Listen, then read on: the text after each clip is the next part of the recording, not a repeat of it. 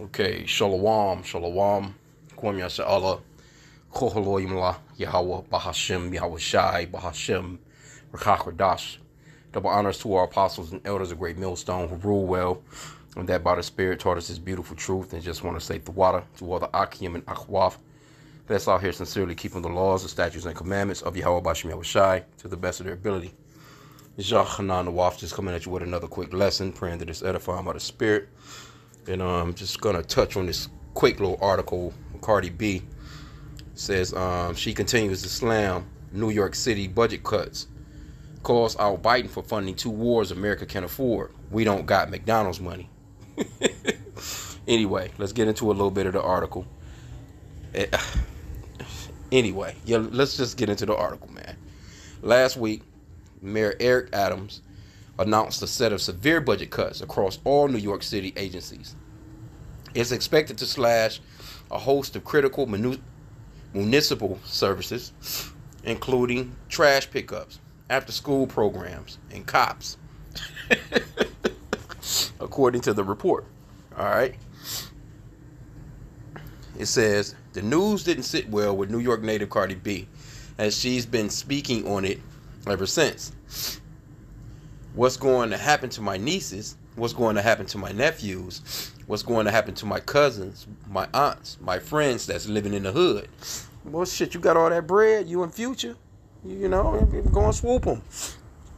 Set them up with you. Shit. Okay, it says, um, I'm from the Bronx. I don't. I don't want to see my shit affected. Everybody be like New York is dirty, and it is dirty. The rapper continued and we're going to get even dirtier with the the effing budget cuts. hey man. She went on to say crimes are going to go through the roof because there's a police safety budget cut. She said, referencing Adams, cancel, cancel, cancellation of several police academy classes. And on top of that, there's a, a sanitation fucking budget cut. so that means we're going to be drowning in rats, the rapper added. The topic has clearly been stuck on Cardi B's mind as she's speaking on it again. But the time she's calling out all the but this time she's calling out all the BS. And even President Joe Biden for funding two wars that America just can't afford. Well, I mean, hey man. hey, but the Lord said that He was going to place a, a, a, base nation. You know, I mean, these people are base, man. They're really, um, I mean, they're, they're really fools. You know, they go to these colleges, they get these, you know, these um letters in before their names, you know, and after their names, their PhDs and all these different things, and you know, they're supposed to be the smartest people in the world, but these people are stupid as hell because your country is suffering you have all manner of shit going on with your country. But yet and still, you got billions and billions and billions and billions of taxpayers' money that you're sending to other countries. And it's not like a one time thing. This shit is ongoing. You're ongoing sending money away. There's no way that, that no city here in these Americas should have to cut no services, man. No services. Think about all that money, man. I, uh, uh, it, I mean, this place it, it's in all kinds of debt. So let me get this quick scripture real quick because it's beautiful to me. See, we're not tripping on this. See, Cardi B, she she she, you know, she this is her her stomping ground, so to speak. You know, because if she really cared, like if she really truly cared, she wouldn't do the type of music that she does to affect our people the way that she's affected our people, man. She is really she a she is single-handedly turned a generation into hoes straight up. But she'll speak out on shit like this right here. So really in reality it's, it's hypocritical. Nobody wants to hear that shit from her. but anyway, you know, we can get edification out of it. So this is um we already in there. Ecclesiasticus chapter 25 and verse 7. Also known as the book of Sirach the 1611 King James Bible, it says, There be nine things which I have judged in mine heart to be happy, and the tenth I will utter with my tongue. A man that hath joy of his children, and he that liveth to see the fall of his enemy. See, she's not looking at this place like an enemy. She's not looking at the so-called white man as an enemy. She's set up, you know, she's been able to, you know, pretty much do well, but at the expense of our people.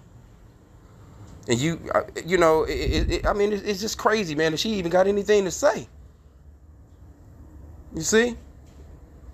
I mean, it, it, really is. Here you go. You'll put out a song called "Wet Ass Coochie." it got a whole. I'm talking about not just here in the Americas, but women all over the world following in behind your ass, man. All types of adultery, all types of uh, uh, abortions that came out of your music. I mean, I can't even imagine, man, the type of um, the things that have come out of her being a damn performer, man.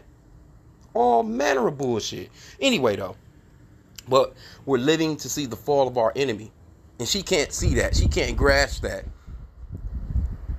And a lot of these people be Christians. I think she might be, uh, uh, she might I think she done spoke on God before. You know, she, you know. But see, I, I done the lesson. I think it was yesterday, or maybe earlier or whatever. But you know, going off into how Christians don't really want the Lord to come back. No, that was earlier today. I was talking about that Speaker of the House guy praying for the Lord to basically give America a chance. no, this place gotta go, man. This place gotta be destroyed. It's too fucking wicked. And she should want it to be destroyed. But you know, from a from a carnal or worldly way of thinking, no, she wants this place to continue on. Like for real, and that's the majority of our people. That's the majority of Christians. These Christians, they don't, they, they don't, they, they're not praying to the Lord, to who they think is the Lord. They're not praying to Him. they're talking about, Lord, go ahead and destroy this place. The only people that's that's that's going off into that and praying that way are the the uh, uh, the children of Israel, man. The, the, the brothers that's going out here on the highways and byways of GMS, basically, and you know the, the the brothers that's affiliates in that teach in like manner. We're the only ones that's out here chanting this place down, man. Chanting this place down. Because I'm willing to bet you she probably going to sit down. She going to have a, a, a, a, nice Thanksgiving dinner with her family. you see what I'm saying? She don't give a shit about the atrocities of our people, man. She don't even know who she is. You see? But anyway, I mean, it is what it is, man. It says, what has Eric Adams said. It says in a statement released on November 16th, the major, the major said, Four months, we have warned New Yorkers about the challenging fiscal situation of our city faces. The balance, to balance the budget as the law requires, every city agency dug into their own budget to find savings with minimal disruptions to services. And while we pulled it off, this time, make no mistake, migrant costs are going up. See, this is what people gonna really get pissed about. Migrant costs are going up, tax revenue growth is slowing, and COVID stimulus funding is drying up. No city should be left to handle a national humanitarian crisis largely on its own. And without the significant and timely support we need from Washington, D.C., today's budget will be only the beginning. so it's gonna it's about to hey, it's gonna get rough in a lot of areas, man. But see this right here, it, it, it, it in Cardi B, she was making a point because it is gonna turn some damn crime up. It's gonna turn that crime up, man. This place is about to go into to full scale chaos, man. Full scale chaos. And New York already crazy as hell. so just imagine, you know what I'm saying, with these these these city cuts and stuff like that, man. It's already that place is already. I live there. That place is crazy as shit. And that's all American cities though. We can't just um say New York. You know what I'm saying? Some of these cities are a little better than others, but overall, just as America, this is a horrible place. this place is wicked to the core. But like I said again, she's really being very, very hypocritical because she's not looking at her life. Examine. She needs to examine herself. Examine yourself. You have destroyed uh, uh, a lot of um little little young ladies, man. If she could only see the type of shit that a lot of these young ladies are going through, following it behind her ass, trying to be like her, repeating those whack ass songs to go along with her, you know, her, her spouse. Him too. You see what I'm saying? So what, what's the fuss about? Just just go ahead and suck it up. Cause you got you got plenty of bread to move up out of New York. You don't even have to be there. You know what I'm saying? And if you feeling that way, set your family on up. You got some bread.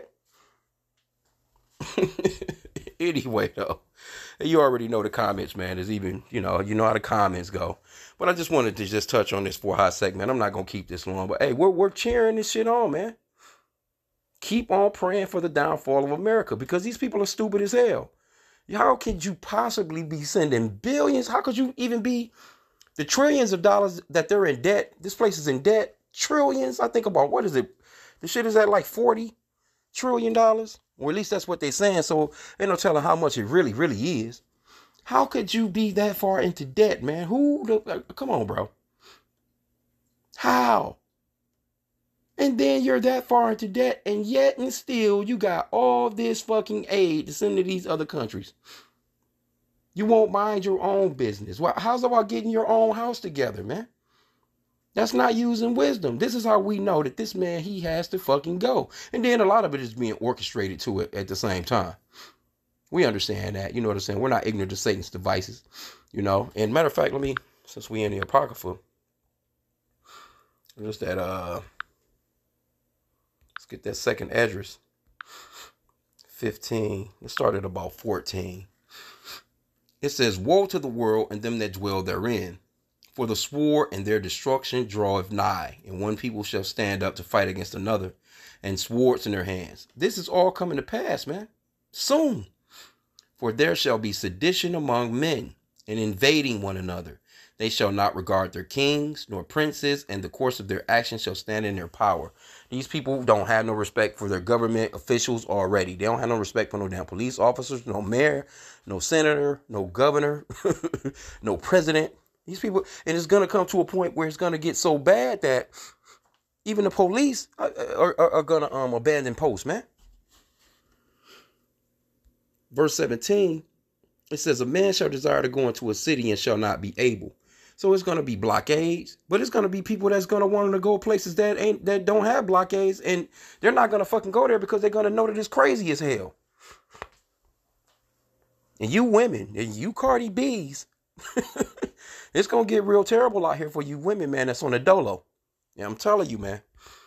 Verse 18 it says, For because of their pride, the city shall be troubled, the houses shall be destroyed, and men shall be afraid.